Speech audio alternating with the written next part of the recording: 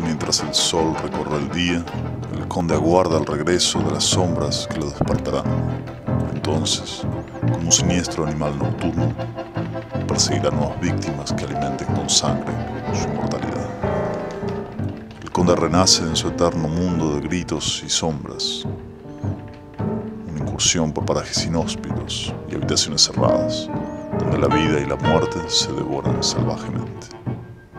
Luis Scafati recobra el mito oculto en las tinieblas de la tinta. Libros del zorro rojo.